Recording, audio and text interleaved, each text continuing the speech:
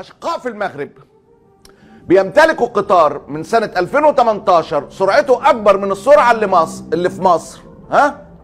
ب- آه، كبير جدا قطار الأشقاء المغاربة تاني أسرع قطار في العالم والأسرع في إفريقيا كلها عكس كل العناوين الكاذبة والكذب البواح اللي بتشير بها كل المواقع وكل التصريحات. تاني أسرع قطار في العالم وأسرع قطار في إفريقيا بلا جدال قطار البراق. قطار البراق. أهو. أهو. سرعته 357 أسرع قطار في إفريقيا.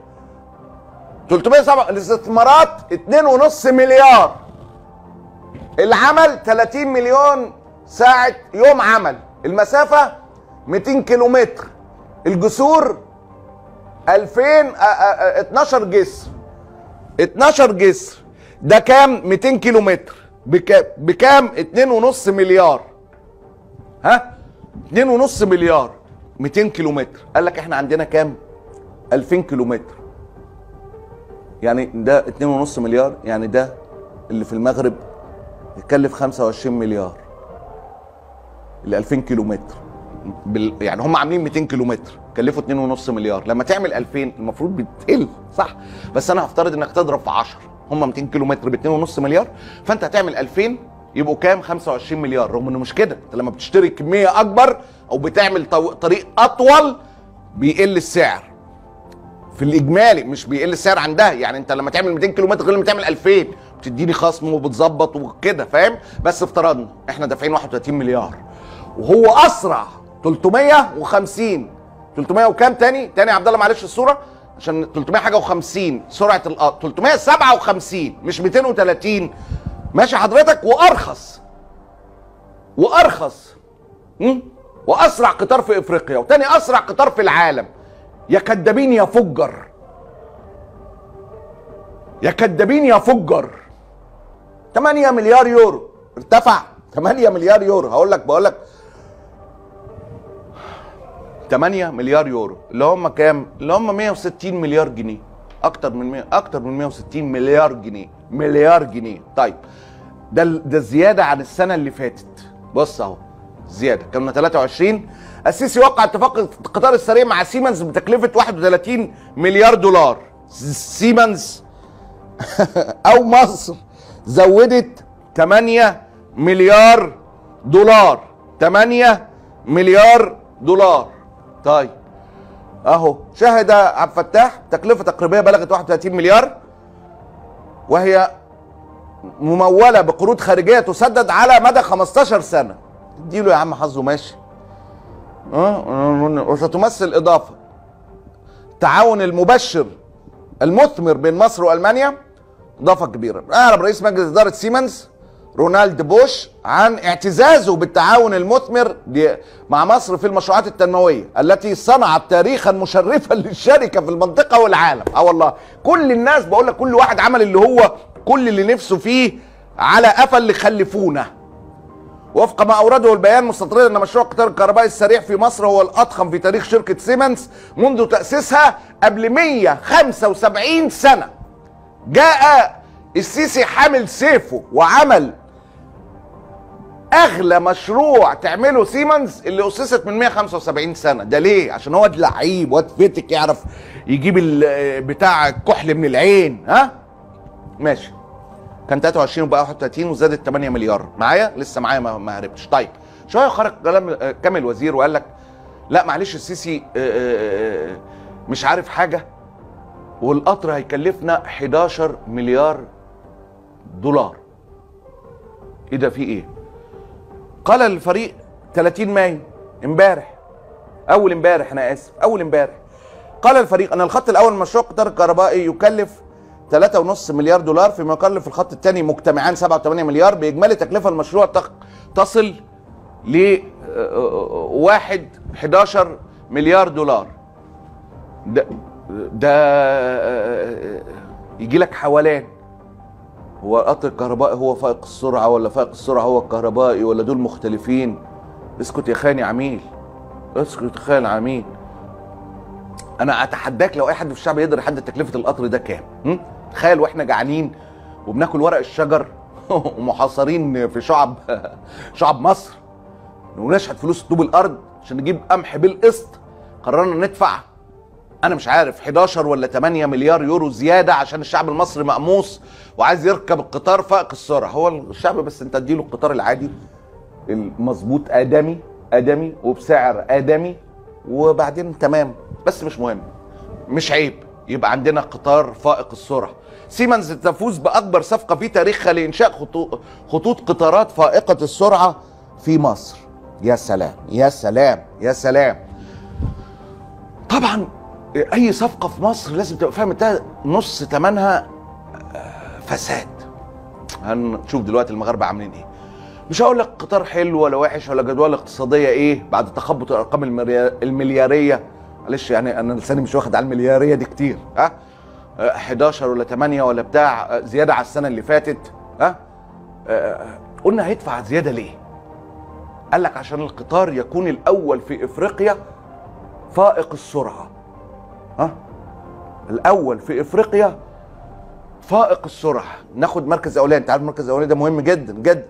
الأطول ده بالذات مهم جدا. أطول برج أطول ساري آآ آآ أكبر صفقة وبتاع وكذا وكذا فمهم جدا. قال لك إحنا إيه؟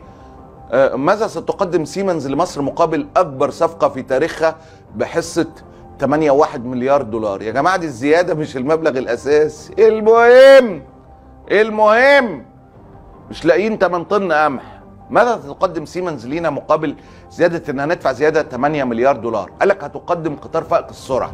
ده مصراوي. هتقدم قطار فائق السرعة. طيب بسرعة 230 كيلو متر في الساعة. افرح يا عم دخلنا عصر القطارات الفائقة السرعة. سرعة كام؟ 230 كيلو متر في الساعة. ها؟ فائق السرعة بقى. مصر ستبدأ عصر جديد لتطوير وسائل النقل. اللي هو يعني بص حضرتك تعالى لي تعالى يا عبد الله معلش معلش معلش معلش بسرعة الجملة دي مهمة جدا. بص حضرتك كنا لسه بنتكلم وبقول لك إن السمكة تفسد من رأسها واللي عايز يصلح حاجة يصلح حاجة من فوق. واخد بالك؟ الحكاية يعني أنت المحافظ اللي راح دلوقتي يقلب أبو طماطم وأبو بطيخ ويعمل عليه راجل الحل من من المحتكرين الكبار. طيب عايز تصلح منظومة التعليم عايز تصلح منظومة الصحة عايز تصلح منظومة المواصلات صح؟ عايز تصلحه. دي بتبدأ من تحت حضرتك بقى مش بتبدأ من فوق. بمعنى إنك بتعمل القاعدة الرئيسية. زي ما أنت عايز تعمل برج بتعمله إزاي؟ لازم تعمل أساسات. أيوه هي برضو الصحة والتعليم والاقتصاد والمواصلات وكله لازم تعمل أساسات. فقال لك مصر بتدخل العصر. ده كلام على الهامش مش هو قصة الفضيحة يعني بس كلام مهم إن إحنا نقوله. قال لك مصر بت... هتنتقل لعصر المواصلات. لا ما بتبقاش كده العصر. العصر بيبدأ بالبنية التحتية اللي هي تحت خالص. تبدأ تعلى تعلى تعلى تعلى لحد ما توصل لقطار فائق السرعة. ما بتعملش قطار فائق السرعة وأنت وأنت أتوبيسك عايز الحرق. ماشي حضرتك؟ يعني ده مهم جدا. فال... فالاصلاح بيبدأ من تحت في إصلاح المنظومات. ماشي؟ وتقنين والفساد بيتم علاجه من فوق مش من تحت. كده كده واضحة؟ بالنسبة لكم ما حدش يتلخبط. عايز تبقى تبقى تضرب الفساد من فوق من المحتكرين. عايز تعمل system بيبدأ من تحت. ده كلام بدايات يعني ألف ب. قال لك فائق السرعة والأول في إفريقيا وهيدخل رجع لي بقى الصورة معلش تاني اللي أنا خليتك تشيلها عبد الله لو سمحت. رجع لي الصورة تانية. شكرا جزيلا. قامت شركة سيمنز ستعمل الشبكة الجديدة والتي مجموع اطوالها آآ آآ 2000 كيلو متر بربط 60 مدينة في الجمهورية. تصل سرعتها 200 تصل سرعتها حتى 230 كيلو متر وستتمكن حوالي 90% من سكان مصر من استخدام هذه المنظومة الكاملة والحديثة والآمنة في انتقالاتهم اليومية. يعني هنلغي القطار القديم؟ طيب خلاص الشعب هيرتاح؟ ماشي تمام. كذب في كذب. ليه؟ اولا القطار اللي مصر زودت عليه 8 مليار يورو عشان يبقى بسرعة 230 كيلو متر في الساعة. مش هو القطار فائق السرعة. رغم إن دي أعلى صفقة بتعملها سيمنز ده واحد. أعلى صفقة بتعملها سيمنز في حياتها. سيمنز تمتلك قطارات سرعة فائقة السرعة ضعف تلك السرعة. ضعف تلك السرعة. جبت الكلام منين؟ أنا سمعت ممدوح حمزة وبعدين رحت دورت في سيمنز لقيت كلامه دقيق. وريني باشمهندس ممدوح حمزة. سيمنز تصنع قطارات تصل ل 400 كيلومتر في الساعة. خلاص؟ ولكن نصيب مصر الخط مستقبلي بأسعار عالية جدا وفي أكبر صفقة في تاريخ سيمنز هو سرعة 230 كيلومتر في الساعة فقط. فقط لماذا؟ من المفاوض الخبير المصري اخص عليك يا باشمهندس ممدوح اخص عليك. انت بتسأل من المفاوض يا ابني هو مفاوض واحد وهو حاكم واحد وهو قاضي واحد. وربك هو الواحد والله. أنا لا أهاجم مشروع قطار السريع ولا أنتقد من سياسة سيادة الوزير وهو أساسا زميل مهنة ورجل على خلق. ولكن كنت أتمنى لبلدي الحصول على أعلى تقنية طالما القرار اتخذ والأموال ستنفق وإليكم ما أستند إليه. كسر الارقام القياسية الحالية من 350 إلى 500 الساعة في المستقبل. تعمل الصين على مشروع يهدف إلى تجاوز سرعة 630 كم في الساعة وتحديدا 800 كيلومتر في الساعة بحلول 27 ما من شأنه تقليص وقت الرحلة من شنغهاي وبكين إلى 3 ساعات ونصف الساعة فقط. تهدف مشاريع أخرى قيد التطوير في الوقت الحالي في كل من فرنسا والولايات المتحدة والإمارات إلى نقل الركاب بسرعة سرعة قصوى تبلغ 1200 كيلومتر في الساعة. في, في باستخدام كبسولات تدفع على طول الأنفاق مع استخدام تقنية الرفع المغناطيسي.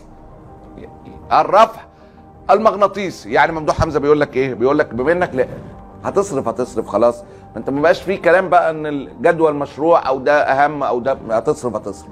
تعمل مشروع فائق السرعة. تمام. الفلوس اتوجدت. سلف مش سلف خلاص وعمضت العقد. ما تمضي ابدأ من حيث انتهى الآخرون. ابدأ من حيث انتهى الآخرون. مش تصرف الميرات دي كلها. وعلى ما المشروع ده يبقى موجود.